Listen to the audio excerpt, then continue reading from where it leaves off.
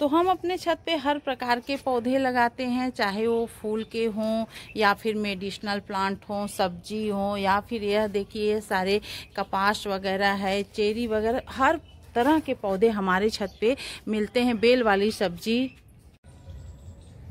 Hello friends, स्वागत करती हूँ आपका अपने channel my organic green garden में। वीडियो पसंद आएगा तो लाइक, शेयर और सब्सक्राइब ज़रूर करिएगा।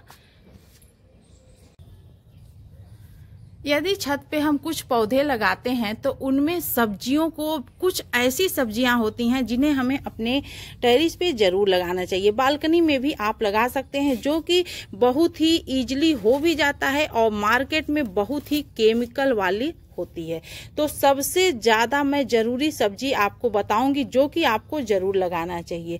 तो चलिए हम क्या क्या लगाएँगे, यह आपको दिखा दे रहे हैं। सारा चीज़ हम लगाने का तरीका आपको नहीं बताएँगे, सिर्फ़ सब्ज़ी गिना दे रहे हैं, क्योंकि बहुत लंबा वीडियो हो जाएगा। फिर आपको अगर कोई चीज़ चाहेगा तो आप कमेंट करिएगा, हम उसका वीडियो अलग से बना देंगे। तो देखिए, यह हम लगाने जा रहे हैं तो मुझे याद आया कि मुझे आप लोगों को बता देना चाहिए। तो सबसे ज़रूरी होता है घर में लगाना पालक। और यह पालक हमें क्यों लगाना चाहिए, मैं आपको रीजन भी बता दे रही हूँ पालक मार्केट में हमेशा मिलता है ऑल टाइम मिलता है और आपको हर दो तीन महीने में एक बार पालक ज़रूर ग्रो कर देना चाहिए, बरसात को छोड़ करके। इससे क्या होता है कि इसके पत्ती को तो आप हटा नहीं सकते, इसमें बहुत सारे केमिकल होते हैं जो मार्केट में मिलते हैं। तो आप इसे कहीं भी इजिली ग्रो कर सकते हैं। मैं अभी आपको इसको ग्रो करने का तरीका बता दे रही हूँ, बहुत ही आसानी से हो जाता है यह यह है सोया, जो पालक सोया होता है, वो है। ये है सरसों। इसे भी आप आसानी से इस तरह के ग्रो बैग में लगा सकते हैं। और यह है प्याज। प्याज, जो हरा प्याज होता है तो हम घर में ही बीज तैयार किए हैं। एक ठो फल फला दिए थे, उसी का ये बीज है। यह है मेथी। मेथी का साग भी आप बहुत इजीली अपने घर में ग्रो कर सकते हैं। यह है धनिया, जो कि हमें भिगा करके लगाना पड़ता है। तो हम पहले से ही भिगाए हुए हैं। इसका हम अलग से भी वीडियो देंगे आपको। आप वीडियो पे बने रहिएगा चैनल से जुड़े रहिएगा, देख लीजिएगा। यह है मूली। इधर आइए। यह देखिए है लहसुन, जो कि बहुत ही इंपॉर्टेंट होता है। और यदि आप फ्लावरिंग या फ्रूटिंग प्लांट कुछ भी लगाएँ तो लहसुन ज़रूर लगाइए। इससे क्या होता है, कीड़े मकोड़े आपके छत पे बहुत कम आएँगे। और यह देखिए, गोभी है तो यह फूल गोभी है, और देखिए, और पालक हम हम अल्टरनेट बहुत सारे पालक हमेशा एक दो महीने के अंतराल में लगाते रहते हैं। पत्ता गोभी है, यह टमाटर है, दोनों देसी है हाइब्रिड है, और यह जो है बीन्स है, देखिए, और एक गाजर है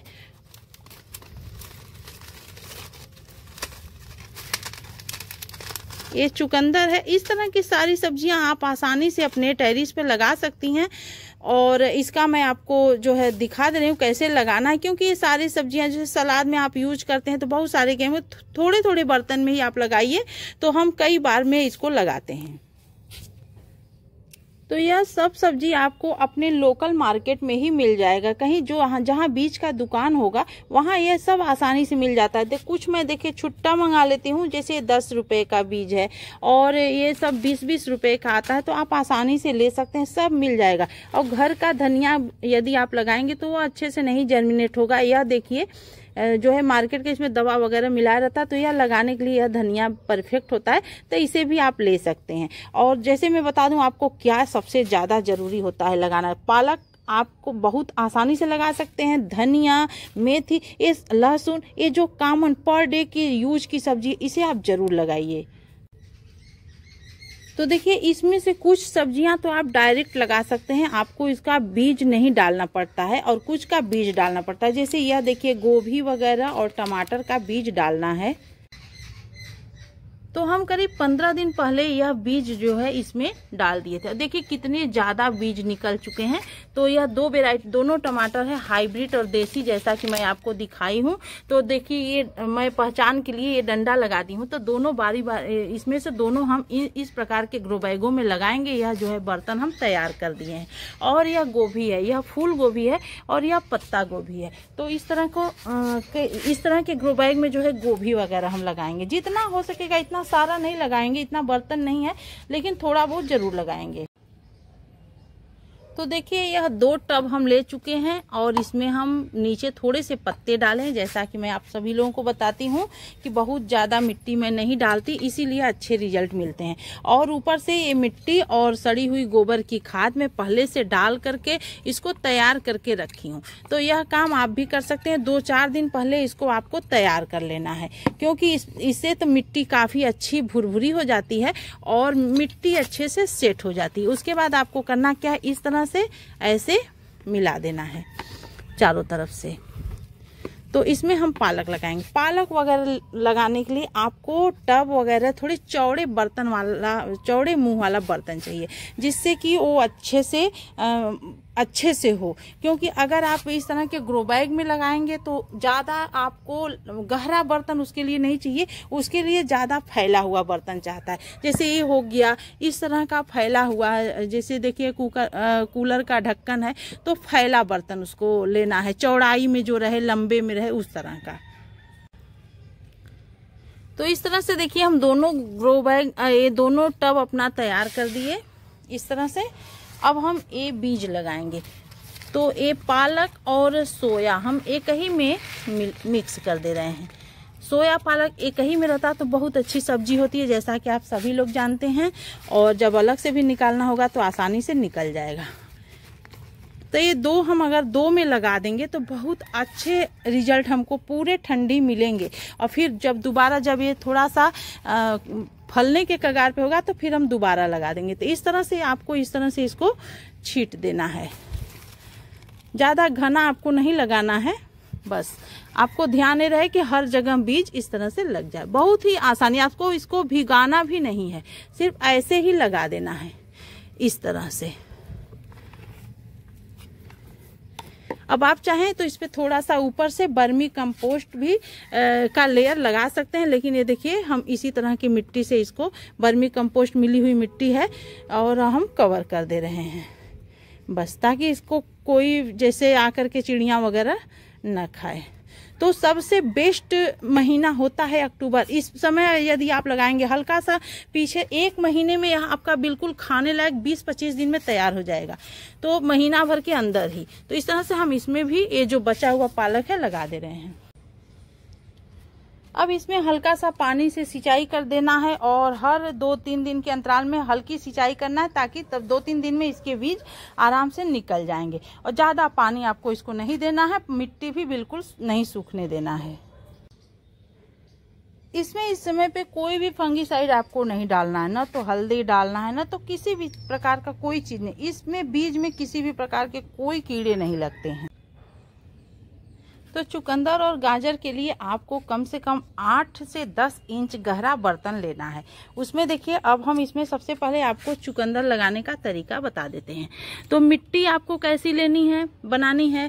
मिट्टी आपको बिल्कुल भुरभुरी बनानी है, जिसमें खाद युक्त बर्मी कंपोस्ट या सड़ी हुई गोबर की खाद बराबर मात्रा में मिट्टी और रो रहेगा तो ज़्यादा अच्छा रहेगा। और आपको इसमें कोई फंगिसाइड वगैरह नहीं मिलाना है।